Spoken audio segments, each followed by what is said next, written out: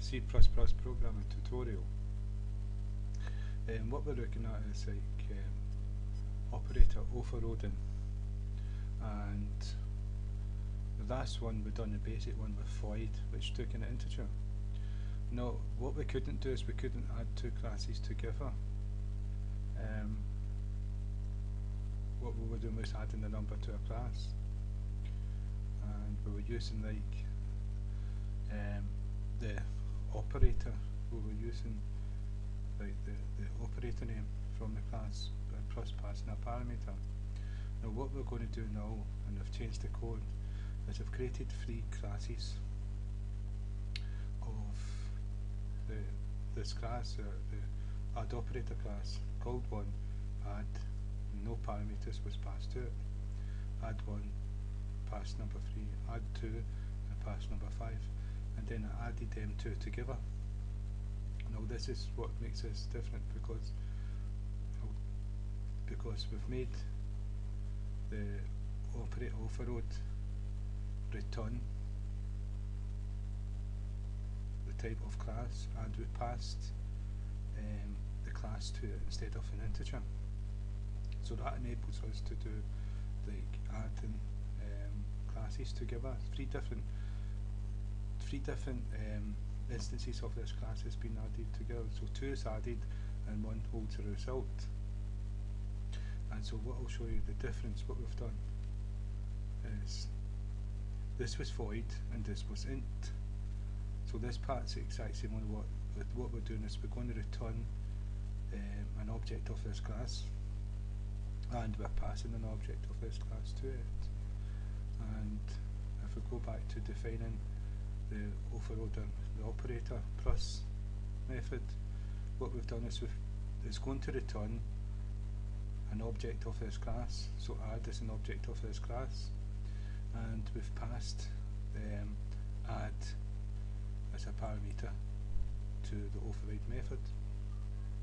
And so what we've done, we've said what we passed add dot value is a private member plus its value and so this here is not part of the class and so what we've done is we've if we can see it from here no come here. We've got a private member um, value there. And when we make an instance we pass number 3 I think it is to it. This becomes number 3 another one's 50 I'm not too sure. 55 and that becomes 55 so that's the value here. And so this would be like, like 55 for 3 and so when we add in two of them together what it's doing is adding them together and then it's passing it's taking two arguments. The value plus what we pass to it. So this would be like add 1 and this would be add 2 and then add is going to equal the total of these two and so and what we do is we return add. So the value in add um, its value becomes um, the value of these two added together. And so that's the difference. That was void and that was an integer. And because it's void we didn't return anything but what we return is a whole object. And that's what we passed in here so if we go back to, we go down, we've got our get and set methods. We're not used the set method because we've, we're already, we're capable of putting, making its value 3 and we're capable of doing it 55 for the second one. And this one doesn't take, doesn't change um, the value of its value. And then what we've done is add this instance of add operator equals add 1 which is 3 plus add 2 and so what we've done is then is go the its value of this one is going to be printed to screen because we're using the get method. And so if we save and run the program 58 and so that's 3 and 5 added together. Now if I change this to a minus it won't work because normal operators don't do things with instances of classes, objects. Save it, compile. Error. And that's because we've not overloaded this one. And so what that's what we will do is we'll we'll create another copy we'll copy this one and what we'll do is we'll change this to a minus and we'll change this to a minus so we're going to take away and so if I save then compile. Um, it doesn't like it. And it doesn't like because we've not actually told it that we're going to, we're going to implement we've got to tell that we're going to implement a method what it what it returns and what gets passed to it. And it's a minus instead of a plus. Save compile.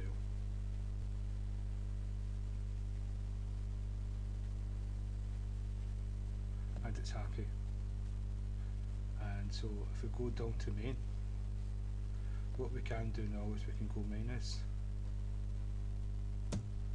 And it will accept it. So this is going to equal the this class getting took away from that class? Save compile run the program and minus 52 because um, we made 255 so if we do 2 and we change that to 1 and if we save go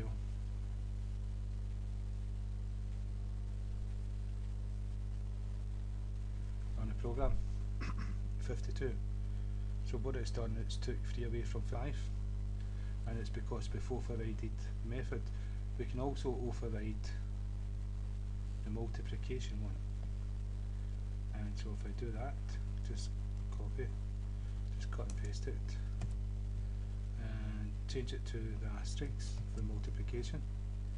Change this to asterisk for multiplication. So we're dealing with objects here. This is different we'll also look at like using friend functions. Well I'm using a get and set method. With a friend function we, we don't need to use get and set. And because it's not a member it behaves different.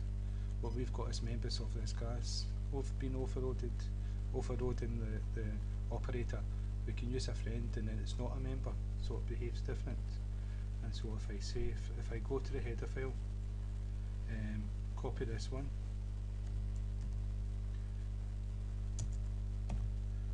change that to an asterisk. Save. And go to main.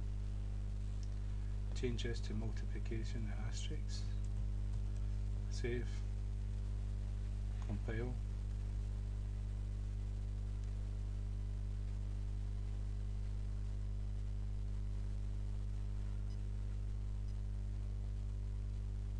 And run the program and so 3 times 55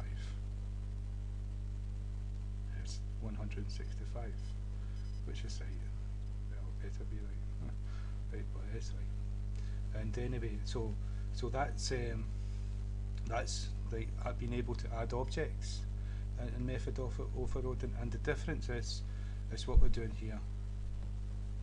Is we're returning the object of the class and that's what this is. We've created an object. We're passing an object and then we're returning it. And so what we're doing is we're saying one object add another object equals this. And there's more ways you can do that as well inside this code will be whatever this method does. This is a method. When you use the minus sign or the plus sign or the multiplication these operators are actual methods that take arguments takes a calling method a calling method here or call sorry a calling object and an argument or sometimes just two arguments like left hand argument and a right hand argument and it depends on how you use this overloading. And so that's overloading again so I hope that's been some help of you help to you. What I'm going to look at next time is uh, using a friend operator. Um, so these are members of this class. If I use a friend, the the overloader, the excuse me, the operator method, it will not be a member of this class because it's a friend. We can use it from outside the class and access its private members. So again, thank you for your time.